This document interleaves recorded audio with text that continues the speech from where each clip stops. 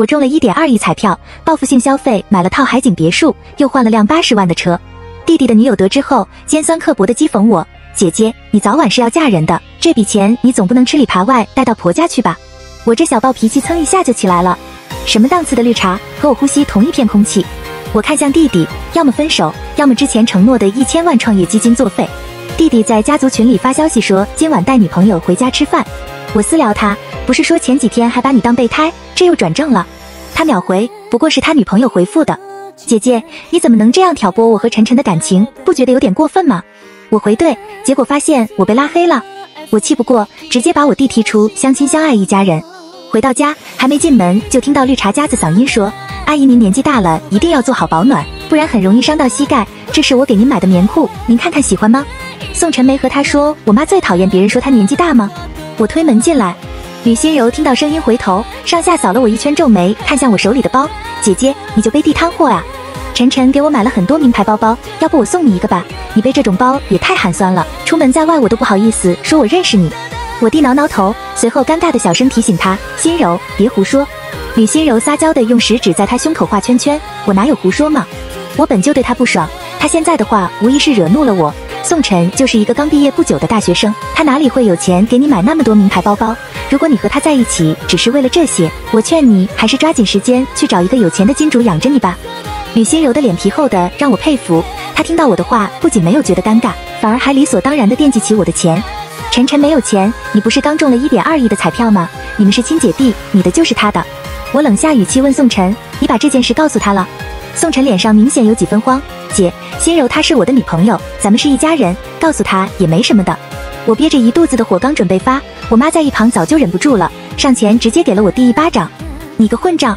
这女的早不答应做你女朋友，晚不答应做你女朋友，偏偏在你告诉她你姐中彩票后答应做你女朋友了，这点花花肠子你看不出来吗？还以为她是真心爱你的，屁！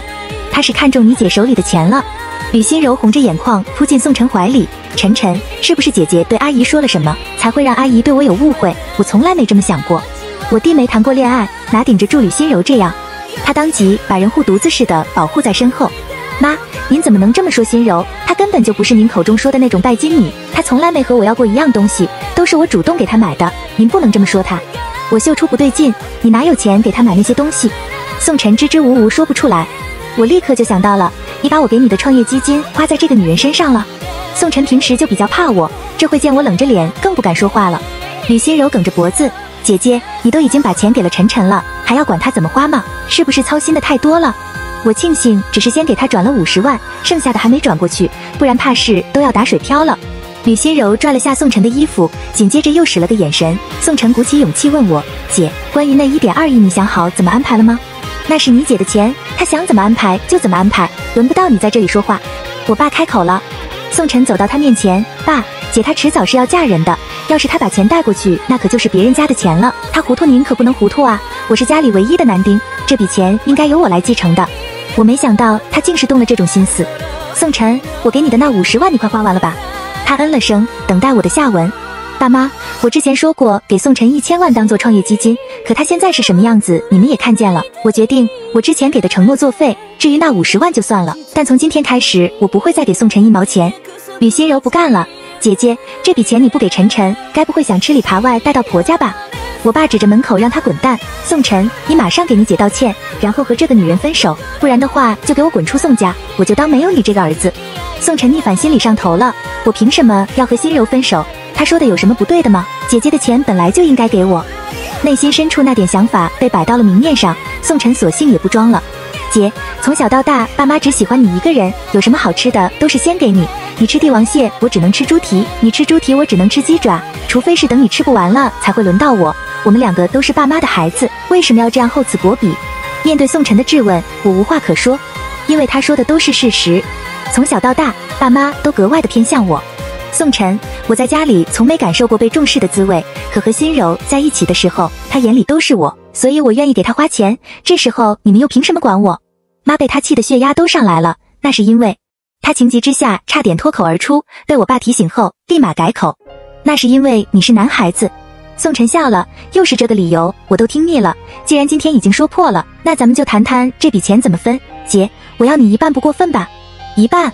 我思索片刻，拒绝，不行，你别打这笔钱的主意。要是把钱给了他，不用多长时间就成为吕心柔的了。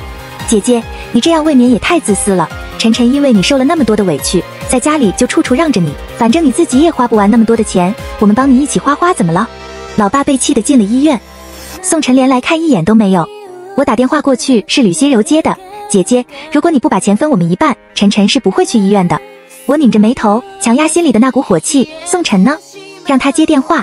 我隐约听到宋晨压低声音和吕心柔说：“心柔，那毕竟是我爸。”吕心柔让他闭嘴，继续道：“姐姐，我也不想做坏人，只要你把钱转过来，我立刻就和晨晨去医院。”我听不下去，挂了电话。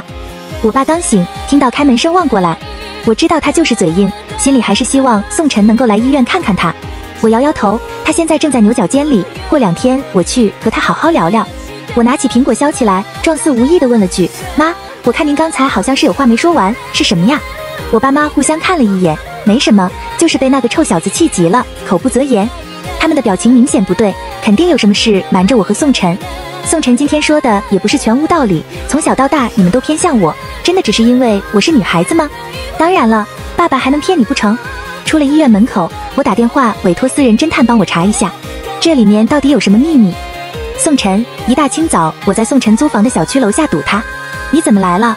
他冷着一张脸，几天不见像变了一个人似的，比陌生人还陌生。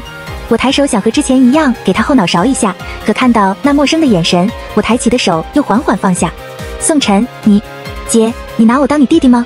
我毫不犹豫地回答，当然。我和宋晨的关系从小就十分要好，他从小就喜欢腻在我身边，我的话有时候比爸妈的还有用。那好，那你告诉我，我是不是爸妈捡回来的？虽然我也有所怀疑，可当这话真正从宋晨嘴里说出来的时候，我又害怕知道答案。当然不是，我不知道该怎么解释爸妈的举动，烦躁地抓了下头发。我比你大六岁，六岁的孩子已经有记忆了。如果你真的是爸妈捡回来的，那我应该会有印象。可我明确记得当年妈妈是有怀孕反应的。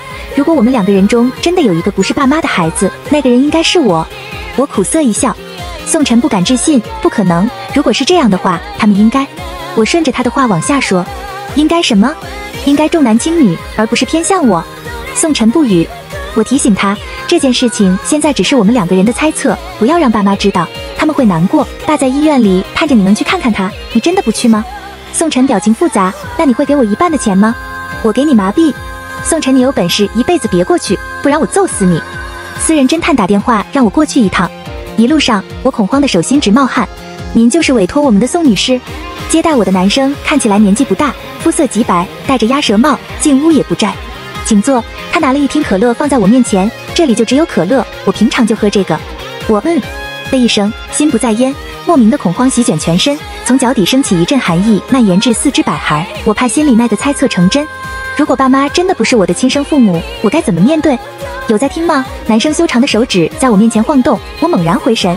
不好意思，你刚刚说什么？男生笑了一下。根据调查，你母亲在二十八年前确实怀孕了，并且生下了一个女儿。按照时间来看，那应该就是你。我不解，可我明明记得当初我妈怀我弟时候的事情，她不可能不是亲生的。男生打了一个响指，不错，根据时间线来看，你弟弟也是亲生的。我说你是不是有点太敏感了？多少家庭重男轻女，你们家没有这种思想多好啊！我摇摇头，不对，肯定不对。爸妈明显是有什么事情瞒着我们，这里面肯定是有什么事情。还有没有其他资料？男生从抽屉里拿出一个牛皮纸袋，有一个地方我需要和你确认一下。三年前有段时间你频繁接触心理医生，你还记得这回事情吗？心理医生，我什么时候见过心理医生？没有，我完全没印象。你确定是我吗？确定。如果你忘了这部分记忆的话，那这里面肯定是有疑点的。或许这位医生能解开你心中的疑惑。他将一张名片放在桌上，慢慢推到我面前。江战，医院里，我捏着手里的号推门进去。医生没看我，问。咨询什么问题？我迟迟没说话。江战疑惑抬头，他眼睛里闪过的一丝震惊，随后又被他压下，快到几乎捕捉不到。请问有什么事？我坐在他对面的椅子上。三年前我找你咨询过什么？江战摘下眼镜，那双漆黑幽深的眸子浅笑了下。没什么，就是你那段时间压力太大，过来找我开导一下而已。那为什么我毫无记忆？江战起身，一步步靠近我。忘了不好吗？干嘛要让自己重新想起来？我脸色绯红，一把将他推开。这就是你对患者的态度，你信不信我投诉你？需要我把院长的电话给你吗？他身上带着几分魂不吝的痞气。什么都不放在眼里。我深呼吸一口气，江医生，请你告诉我，三年前我来找你究竟是因为什么事情？如果你不告诉我的话，我会报警，让警察来处理。我怀疑你对我做了什么事情。江战轻笑，从口袋里摸出烟盒，想到这是在医院，又放了回去。三年前是你让我将你那段时间的记忆封存住，并且嘱咐我永远不要让你想起来。你还想知道吗？他翻出一段录音，那声音是我的，内容和他说的没有差别。你不会想知道的，宋芝，回去吧。他轻轻抬眸，带着重蛊惑。我回到医院，在走廊就听到病房内的争吵。真是作孽啊！有这样一个儿子，早晚得把老人家气死。听说是因为财产都给了女儿，所以儿子才来闹。都是孩子，平分不就好了？一家人干嘛要弄成这样？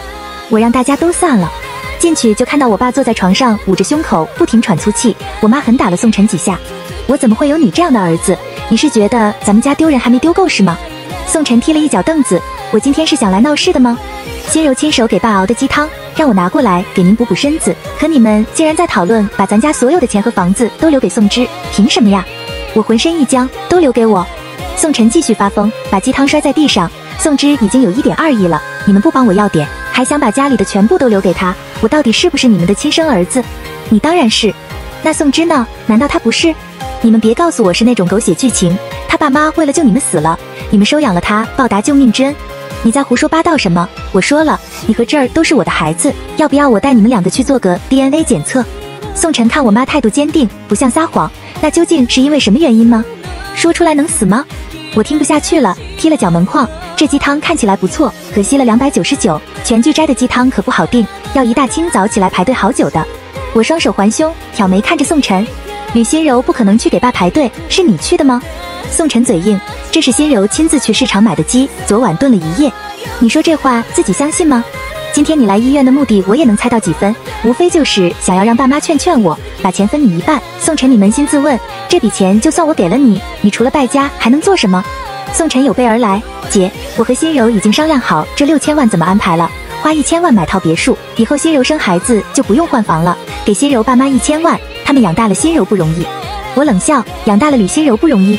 宋晨是不是忘记了他亲生爸妈还在这儿呢？继续说，剩下的四千万呢？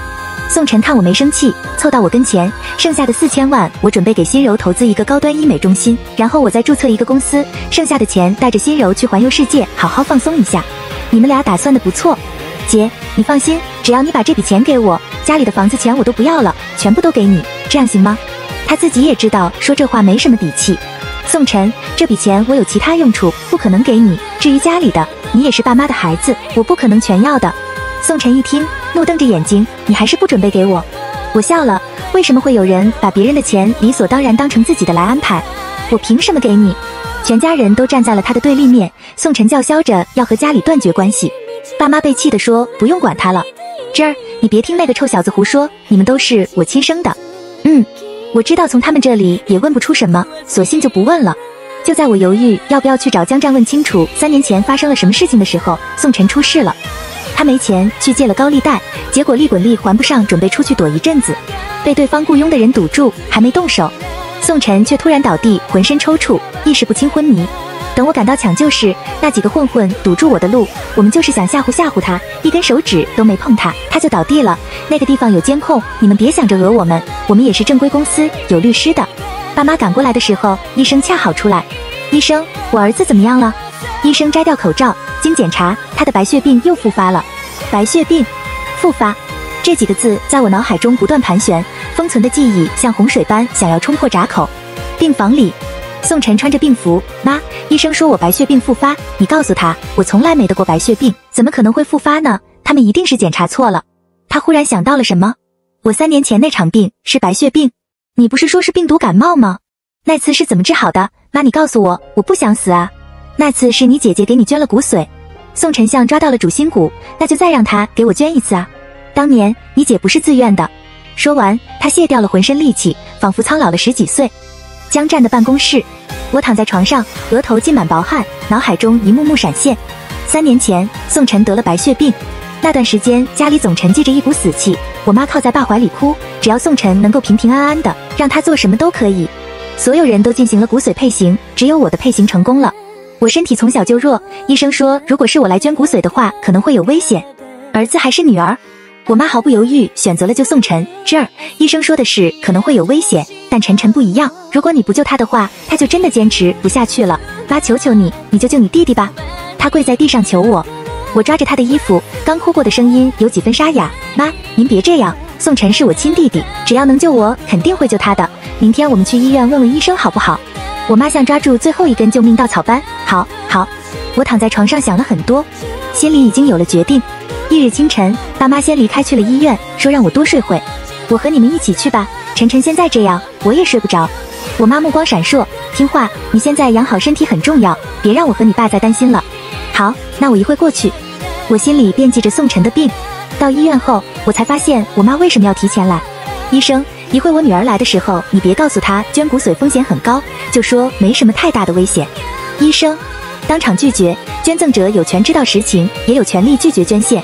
如果你女儿不愿意的话，那是不能强求的。我也告诉过你，你女儿身体不好，捐献骨髓很有可能引起其他病。可现在只有她配型成功了。如果你告诉她实情，万一她不捐，我儿子就没救了。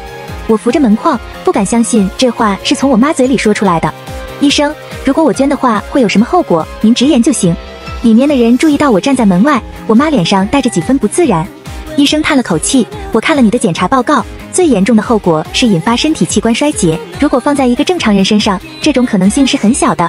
可照你的身体情况来看，危险很大。我知道了，我要考虑一下。话落，我就挨了一个巴掌。考虑什么？明天就手术。我妈眼神偏激，那一瞬间我好像不认识她了。你弟弟没有几天了，你捐也得捐，不捐也得捐。别忘了是谁给了你生命。我的心那一刻疼得要命，不明白为什么之前明明那么疼我的妈妈会变成这个样子。本来我今天就是决定来救宋晨的，可现在我突然很反感这种被绑架的捐献。我捂着心脏蹲在地上，医生赶紧给我检查。护士，我被送到检查室，没什么大事，就是激动引起的心率过快，一时间呼吸不过来，以后要注意。我听到病房外我妈和医生的争吵，我理解您的心情。我们和骨髓库那边说了，只要有配型成功的，一定立刻给宋晨手术。可现在你女儿的身体你也看到了，不适合手术。我妈乌黑的头发染上了银丝。她看向我的眼神不再温柔，像猎人看见猎物，像忧虑的蛇吐着蛇信子紧紧盯着你。恐慌的情绪瞬间袭来，我鸡皮疙瘩起了一身。我小声喊他妈，好好休息，等我醒来就换了家医院。我疑惑地问我爸怎么转院了，我爸眼神闪烁，不敢直视我的眼睛。晨晨的身体不行了，你妈就想着让他最后几天能够舒舒服服的，就转来了这家私人医院，也把你给转来了。我没有怀疑。直到晚上，我被强行送进了手术室。原来这是家黑心医院，只要给钱，什么手术都做。长达十几个小时的手术，最后手术很成功，宋晨活下来了，而我也活了下来。不过一系列的副作用接踵而至，我的身子一天比一天虚弱，经常呼吸不上来，眼前发黑，在医院治疗了大半年，才勉强有点好转。看到我妈的示好，我一句话也不想说，就这么静静地看着窗外。她无助地掉泪，这儿，我知道你恨我。可我真的没有办法了，你看手术这不是很成功吗？晨晨活下来了，你也没什么太大的问题。来，喝口鸡汤，这是妈亲手熬的。我反手打翻，鸡汤溅落一地。我妈默默收拾好，他又给我倒了一碗，让我爸劝劝我。宋晨怎么不来看我？我们没告诉晨晨他的病情，怕他胡思乱想，影响后续恢复。我自嘲笑了，所以他根本不知道我差点为他死了这件事。我爸妈羞愧，从那以后对我愈发好了。而我情绪一天比一天偏激，总想着做点什么发泄怒火。后来我坚持不住，找到了江战，求他帮帮我。一切似乎回到了原点，什么都没发生过的样子。我妈来接我的时候，江战看着她，声线低沉，又轻又慢，又带着不知名的一股狠劲。记住，对她好点。我从床上惊醒，江战将我贴在额头上的碎发整理好。忘记的这三年过得不错，本来不想让你记起来的。江战，我在。手机响了，是宋晨打来的。我没接，江战脱了一身白袍，换上黑色西装，金丝边框眼镜下那双黑眸沉着冷静。我陪你去一趟医院，上次我不在你身边，这次交给我来处理。他握着我的手，我呆滞的看了一眼十指相扣的手，眼神猛猛的。江战，我们之前认识吗？他宠溺的摸了摸我的头发，你猜？姐，我知道自己错了，我求求你救救我吧，我不想死，钱我不要了，家里的财产也全部给你，什么都给你，你再给我捐一次骨髓吧，好不好？我求你了。我扫了一圈，视线最终落在我妈身上。我都想起来了，她颤抖着嘴唇，不知道该说什么。或许是又想要我捐骨髓给她儿子，又或者是知道自己错了。却发现连道歉的资格都没有。宋晨，你说爸妈偏向我，这话错了。其实他们心里偏向的人是你。这几年所有的假象，不过是为了补偿我而已。我妈羞愧的低头。芝儿，我深呼吸一口气，不给他说话的机会。我不可能给宋晨再次捐献骨髓的，上一次差点要了我的命。这几年我身体一直大小病不断，正规医院是不会允许我进行捐献的。正规医院这几个字被我咬得极重。妈知道，可晨晨怎么办？他的人生才刚刚开始，所以我不死心，我特么的找虐，我就是想看看这次的结果会不会不一样。妈这次不强求你，我们先看看骨髓库能不能配型成功。如果不能的话，你可不可以？不行。江战开口了，我爸妈这才注意到我不是一个人来的。我妈觉得眼熟，你是当年的那个医生，宋晨，你凭什么说不行？我们一家人的事情，你有什么资格来说话？她是我亲姐，就我不是理所应当的吗？我终于看清了这一家人的嘴脸，什么幸福温暖都是假象，在性命利益面前根本不值一提，在儿子女儿面前更是不值一提。我发现我这二十几年白活了，连宋晨是什么样的人都没看清过。幸好现在还不晚，宋晨。那我亲自来告诉你，我拒绝给你捐骨髓，你不配当我姐，以后我没你这么一个姐姐。正有此意，从此以后我宋芝和你没有半分关系。三年前的事情我已经报警了。骨髓库那边来了个好消息，配型成功了，马上就可以安排手术。这次的手术也很成功，不过宋晨整天疑神疑鬼，觉得这里不舒服，那里不舒服，过于害怕死亡。警察对三年前的事情进行彻查，查处了那家不正规的私人医院，并且还查出多起此等事件。我妈承认了所有罪行，是我做的，孩子爸爸不知情。经法院审判，私人医院参与手术的医生均被判刑并处以罚款，没收其违法盈利的十几亿。我妈被判处有期徒刑八个月。我把那一点二亿捐给了一个儿童疾病救助基金会，今天去看看情况。路上碰到了之前催收高利贷的那波人。我现在和宋晨没有任何关系，要钱的话去找宋晨要，别来找我。我越过他们就要离开。哎，等等，就是宋晨让我们来找你的。他说他没钱，让我们来找你要。不是我说美女，你可不能推皮球，把我们推来推去的。我看了眼时间，这些人就是专门干催收的，有的是时间，不一次性解决了更麻烦。你们跟我来。医院里，我爸一下子苍老了几十岁，脸上皱纹明显多了起来。看到我来，他带着几分无措。芝儿，爸爸欠你一句道歉，对不起。他弯下腰，我过去扶起他，别这样。宋晨见到我瞪大眼睛，跟疯子一样，你还好意思来这里？把亲妈送进监狱，你这种人就应该下地狱！他一巴掌，我甩在他脸上。宋晨，这是你欠我的。宋芝，你敢打我，我弄死你！他刚要动手，就看到门口那些催收的人，气势一下子就弱了下去。我不是让你们去找宋芝吗？你们来这里做什么？你姐又让我们来找你，现在正好所有人都在这里，痛痛快快的，赶紧把钱还了，以后我们保证不出现在你面前。宋晨死猪不怕开水烫，我没钱，要么就问宋芝要，要么就当打水漂。和小混混玩横的，他比你更横。小子，我告诉你，别跟我们来这招。兄弟们干这行这么多年了，什么痞子没见过？就你这样的，就别在我面前装了。我问宋晨，你高利贷这笔钱全都给了吕心柔？嗯，他现在人呢？宋晨不好意思开口。我爸叹着气跑了，在知道晨晨有病的时候就走了。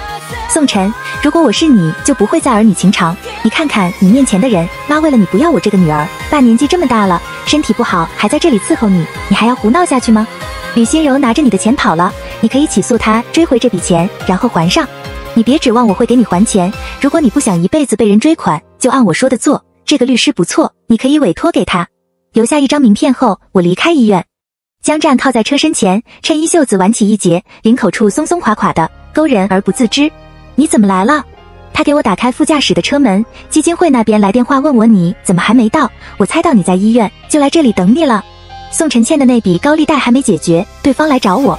江战搭在方向盘上的手敲了两下，这是我来处理。吕心柔想跑，被我的人截住了，现在已经送到了警局。不过那笔钱不一定追得回来，他可能花光了。